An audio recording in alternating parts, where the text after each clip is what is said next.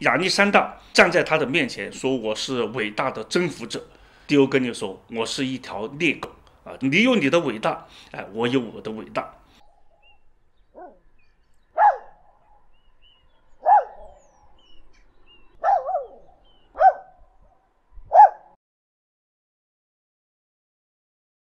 那今天呢，我想跟大家聊一聊，呃，一个著名的人物叫蒂欧根尼，啊，他可以说是游戏精神跟娱乐精神的代表，呃，他是全儒派学派的呃哲学家，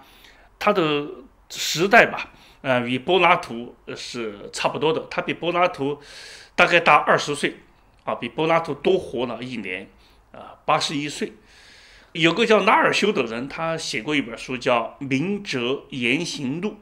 啊，在其中呢，他是最为详细的，啊，记载了蒂欧根尼的各种怪异的言行，啊，这个蒂欧根尼呢，他曾经因为呃制造假币就被流放，啊，后面他来到了雅典，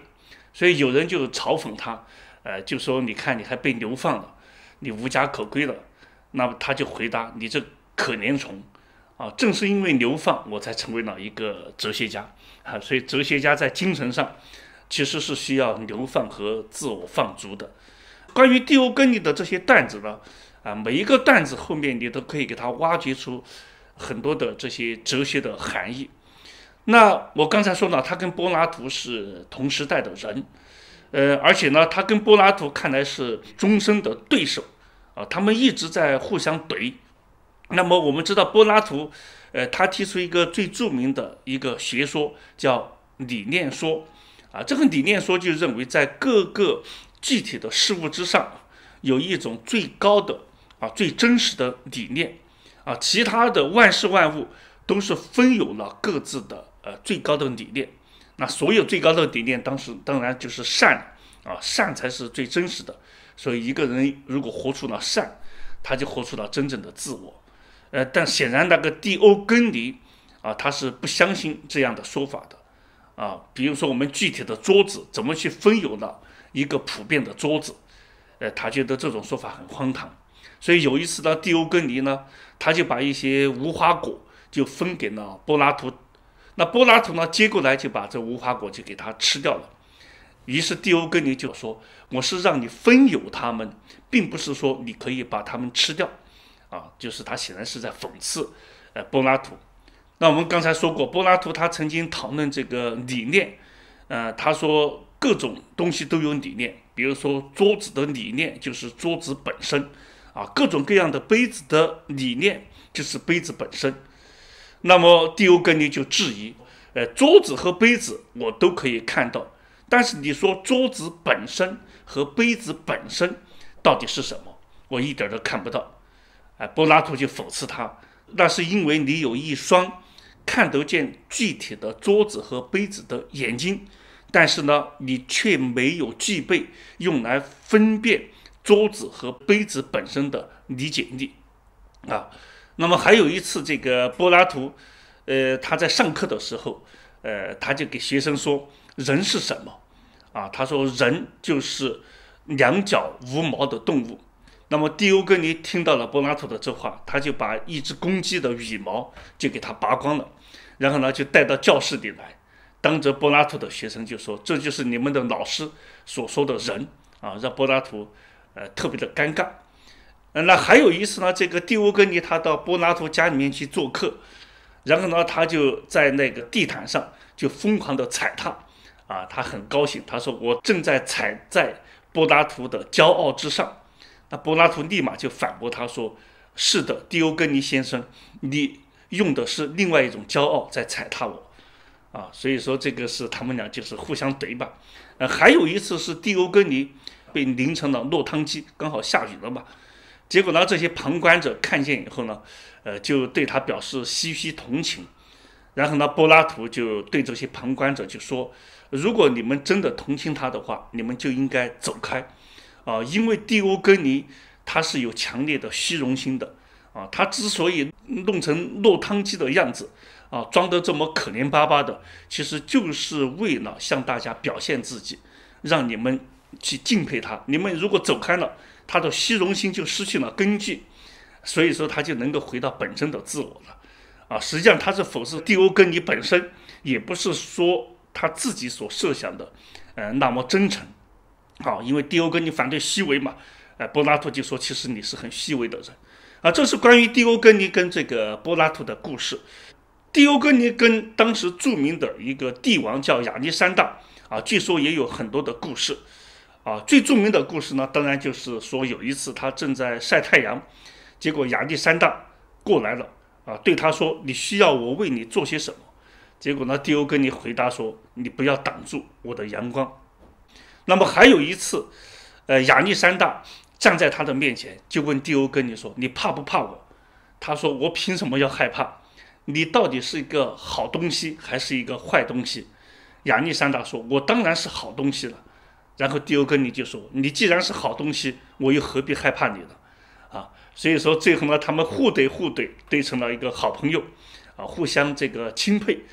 呃，据说亚历山大说过，他说我如果不是亚历山大的话，我就愿意做狄欧根尼。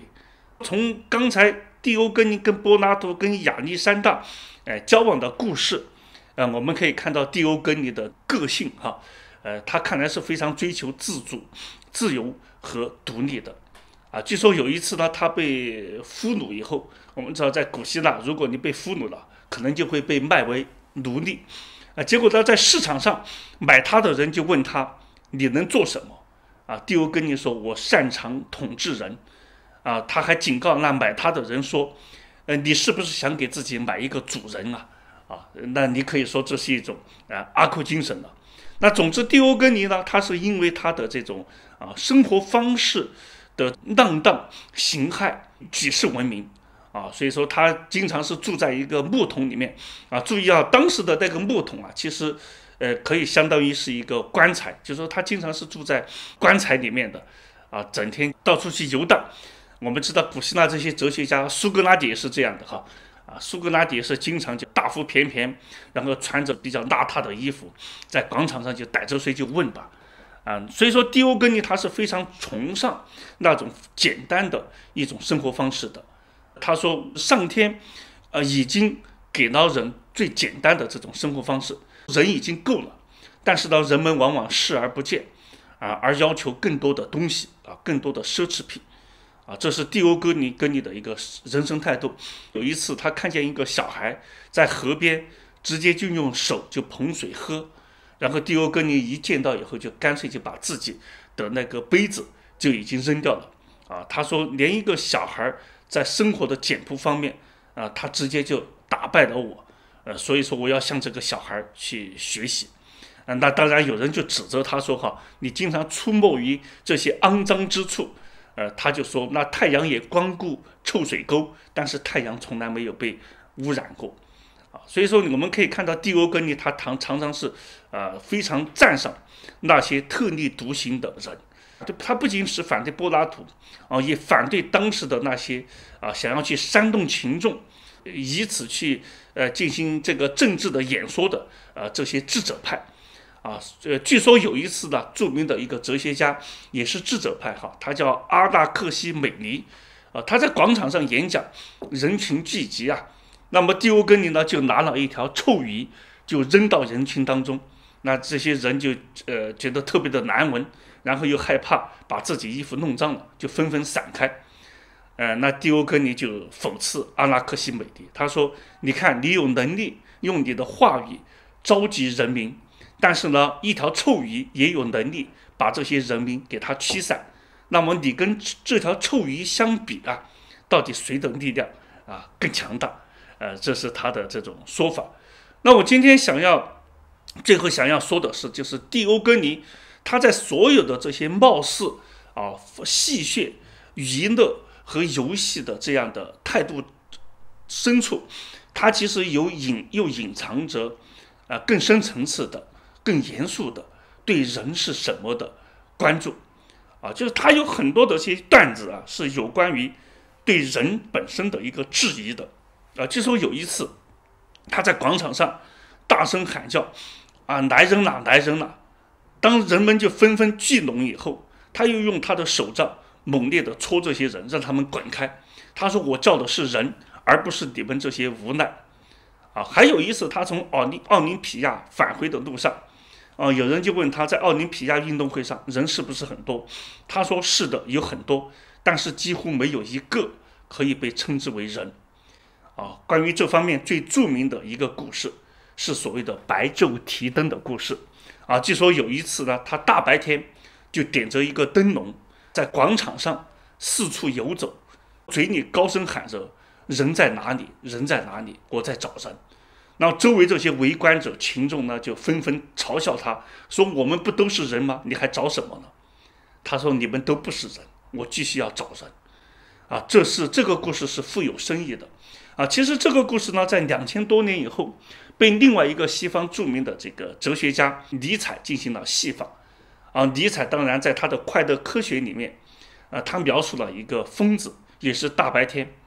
提着灯笼，在广场上、大街上。到处喊着“上帝死了，上帝死了，神不见了”，啊，这些人也在嘲笑他。然后这位疯子说：“不仅上帝死了，而且上帝就是你们这些人杀死的。”啊，其实不管是人不见了，还是神不见了，其实最后他核心的还是在关注我们人其实经常会迷失自己啊，而且我们往往是这些迷失的人哈，往往认为自己是最真实的人。啊，是最现实存在的人，啊，那蒂欧根尼呢，还影响到后面的一个重要的一个呃哲学派别，就是著名的斯多亚学派，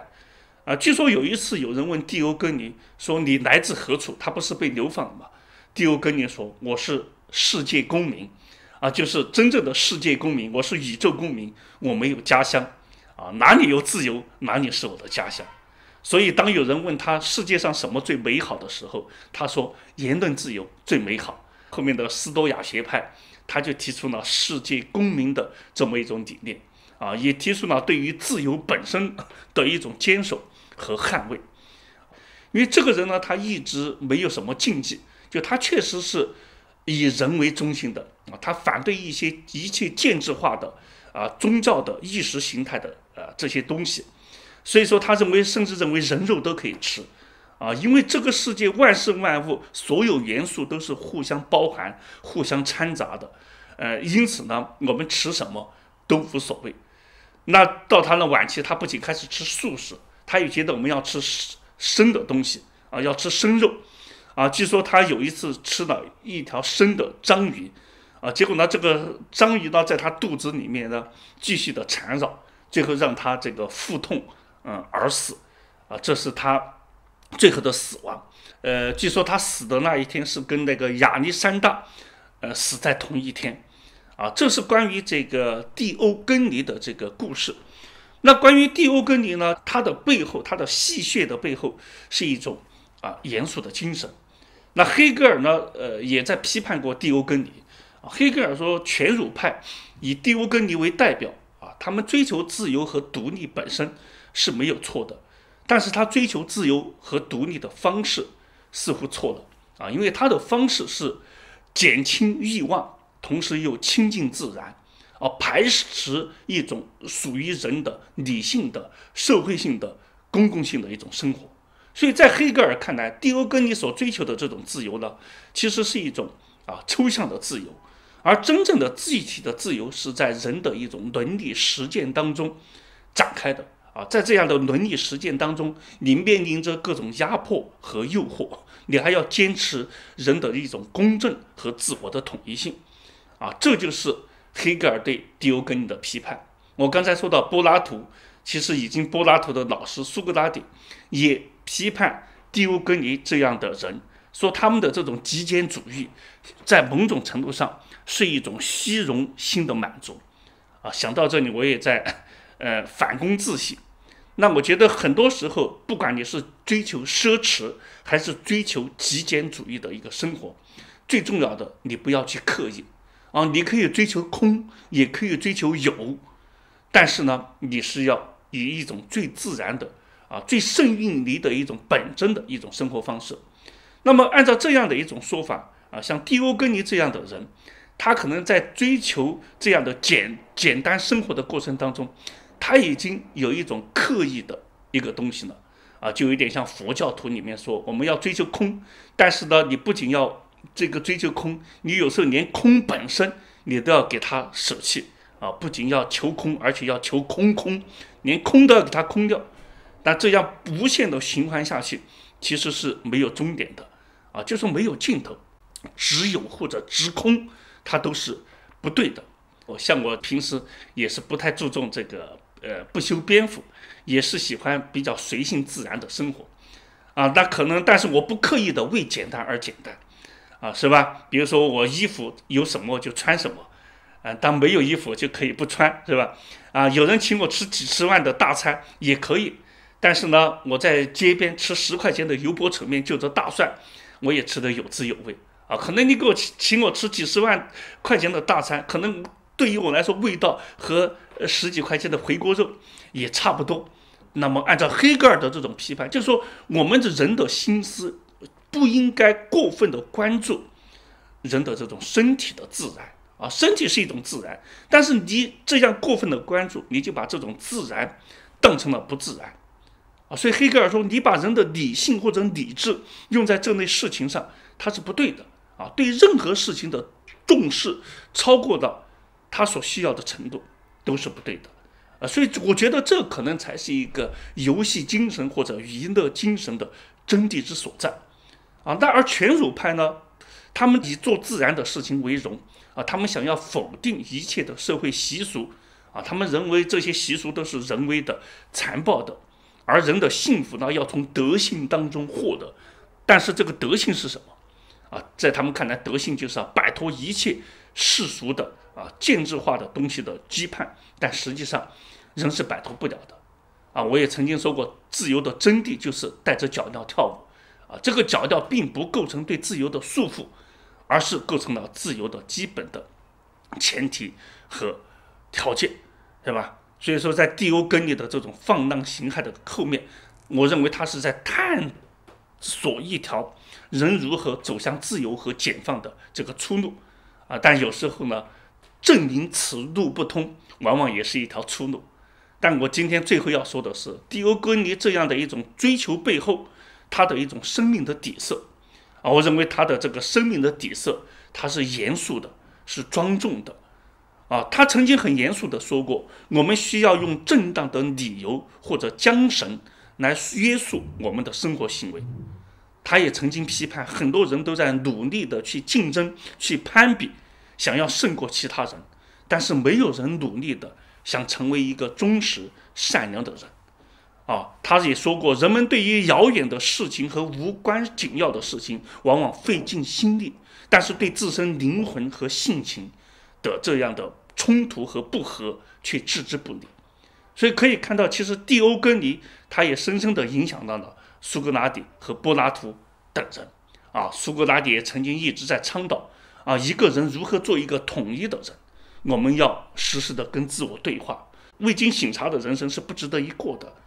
所以说，这是蒂欧根尼跟柏拉图他们之间既相互去进行批判，也相互的受益。我可以看到，在当时，在古希腊，他们形成了啊一个很好的一个思想市场。所以说，这些哲学家互相影响，最后形成了人类思想的啊最早的一个源头。啊，让我们今天还在从中受益。诶，这苹果挺好的啊，待会儿咱们录完就给它吃了啊。我是一匹来自北，哎，这地好甜啊，又甜又脆。走在无垠的旷野中，凄厉的北风吹过。